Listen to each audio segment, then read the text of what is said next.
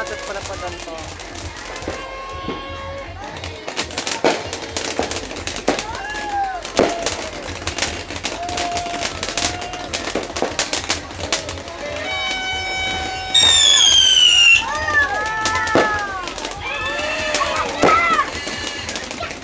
Ha ha.